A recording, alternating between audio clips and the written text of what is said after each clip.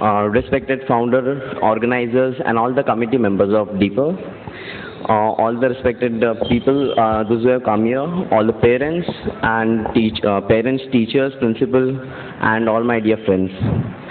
Uh, it is a great pride of me standing among one among you all. I thank you all for felicitating me for this achievement.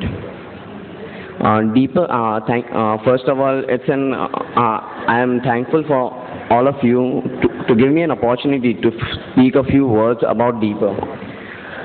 Deeper is an organization which has helped all the, uh, about all the people who have given them and who has given them encouragement and who has, who has given them self-confidence for appearing for the I can tell that uh, this MHT CET has been the most uh, important exam of each and every student's life so Deeper has played a very important role in uh, generating the self-confidence in each and every one of us.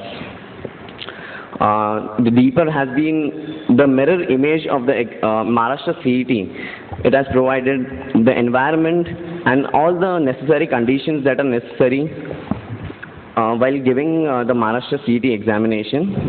And I thank uh, Dr. Harish Bhutle, who has taken earnest efforts in, in setting up this exam for each and every one of us. I thank all of you to come here and thank you so much.